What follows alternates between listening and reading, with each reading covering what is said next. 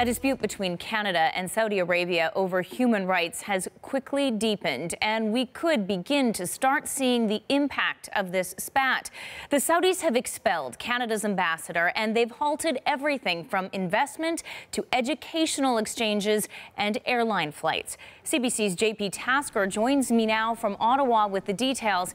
JP, the two big components in the Saudi response here are education and business. Let's start yeah. with business. What are you hearing? Yeah, a big, big question in all of this is just how detrimental this trade spat is actually going to be to our economy. And we're actually looking at some new numbers here today. And at first glance, it doesn't seem like it's going to be that big of a problem for the Canadian economy. We only do about $3 billion a year in trade, $1.5 billion of goods and services is what we send to Saudi Arabia. They send back about the same. And Canada is only the 20th largest trading partner to Saudi Arabia. So we're not talking about a lot of money here, but it does come at a time, Lindsay, when Saudi Arabia is really changing up how it manages its economy. It's trying to get away from being a petro state. It's trying to diversify all the industries it has in its country. And what they're actually doing is opening the doors to foreign businesses to invest more in that country. And they're also going to be spending more abroad, trying to jumpstart some industries, anything other than oil, basically.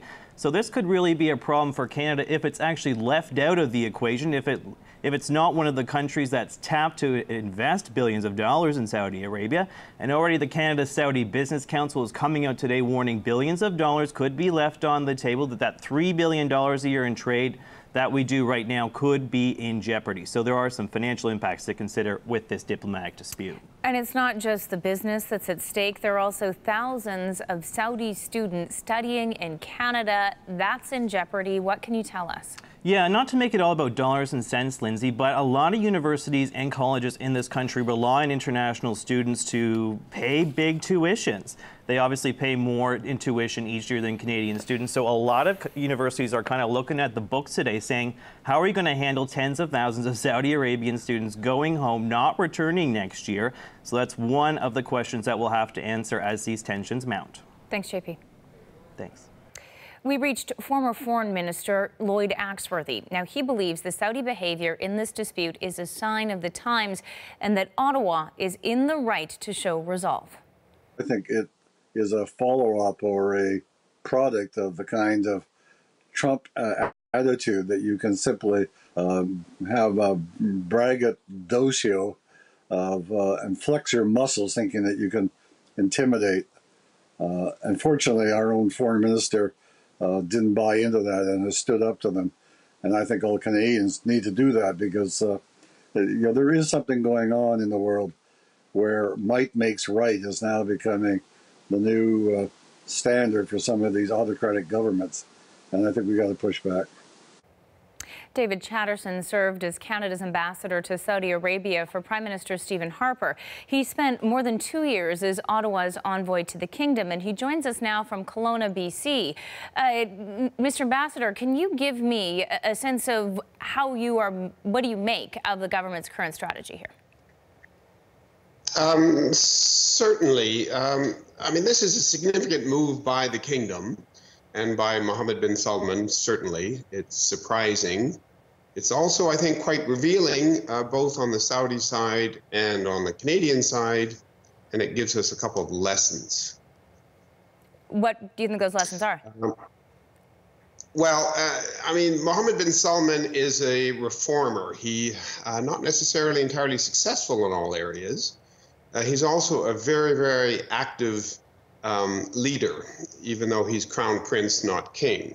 So he has had foreign policy um, uh, adventures in Yemen, Qatar, uh, with Lebanese prime minister. He's rounded up elites domestically.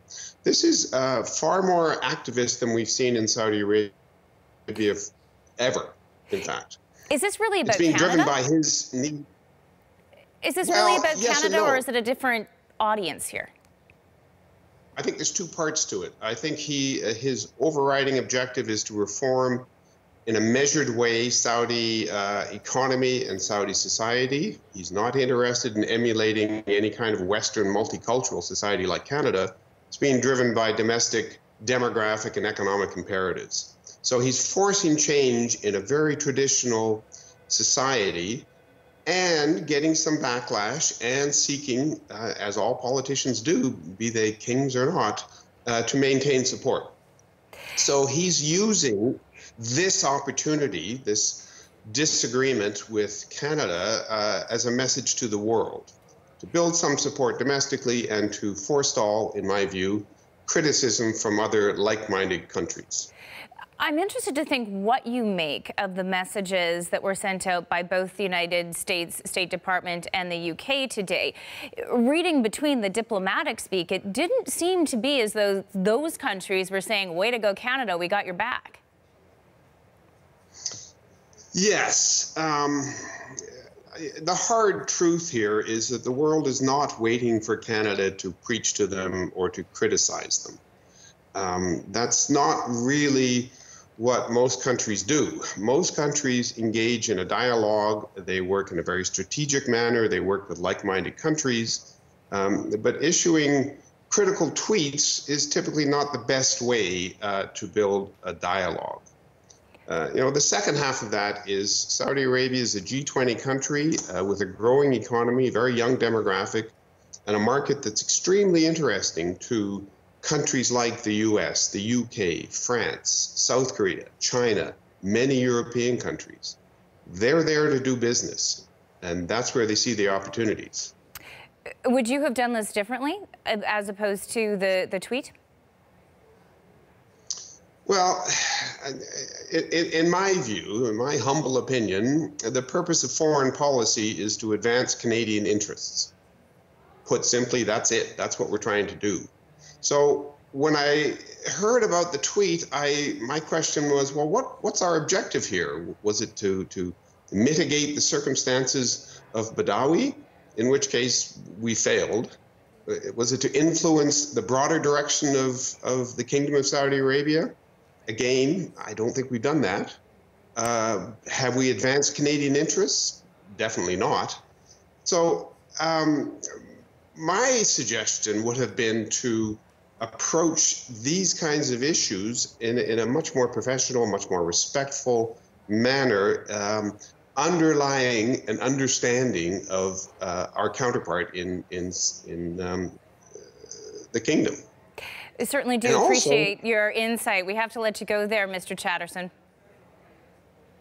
Okay, just one last thing. I think the biggest cost of all of this is the, is the education side. We have an opportunity to influence and encourage change in the kingdom through education. We've been doing that. That's a missed opportunity.